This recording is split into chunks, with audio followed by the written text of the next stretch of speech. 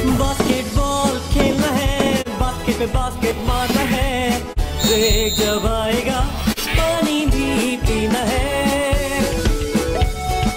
Hello kitty box लेना है wristband और रिंग पहनना है टैटू फेस पे लगाना है।